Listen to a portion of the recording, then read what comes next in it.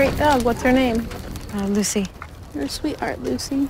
Where are you going? Going to Alaska. Woohoo! King salmon. You going to work? Can't sleep here, ma'am. You can't sleep out here. It's not allowed. Okay.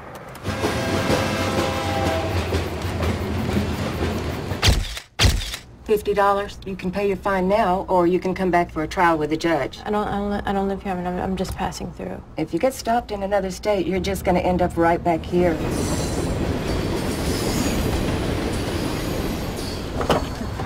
Hundred bucks. Be fifty for labor. Tow it over, I guess. That adds another fifty.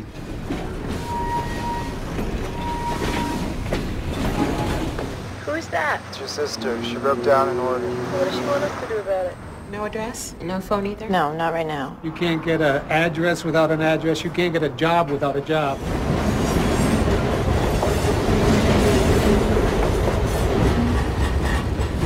They can smell the weakness on you.